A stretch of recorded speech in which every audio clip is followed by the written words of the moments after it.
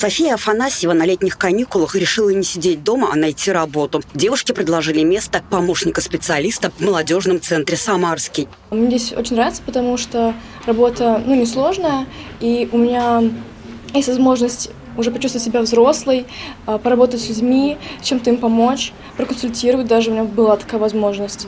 Вот, поэтому мне здесь очень нравится.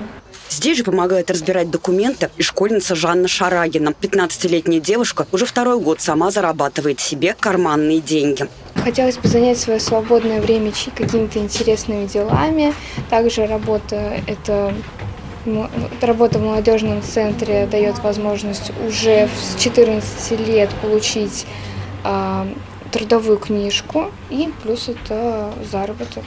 Возможность заработать на каникулах и в свободное от учебы время дают областные и муниципальные программы. Служба занятости информирует и консультирует подростков о востребованных в регионе специальностях и профессиях. Подросткам предлагают несложные виды работ, такие как помощник специалиста, подсобные рабочие, уборщики, помощники садовника. Каких-то определенных приоритетов среди ребят ну, особо мы не наблюдаем.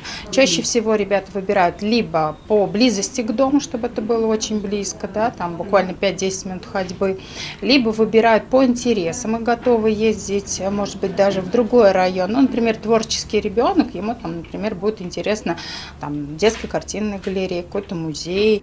Охотно приглашают ребят и промышленные предприятия охотно предприятия берут. Очень много предприятий, которые, скажем так, прям готовы растить свои кадры именно с нуля.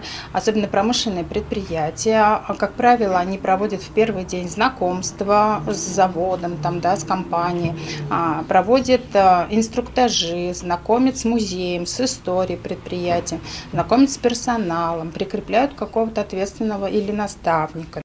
Всего в Самарской области планируют трудоустроить около 12 тысяч школьников от 14 до 17 лет. На данный момент уже работают около 5 тысяч. Желающие заработать могут позвонить в молодежный центр «Самарский». Там расскажут, как собрать пакет документов и проведут консультацию. Можно найти работу самостоятельно. Главное – оформить трудовой договор, в котором будут прописаны условия работы и размер заработной платы.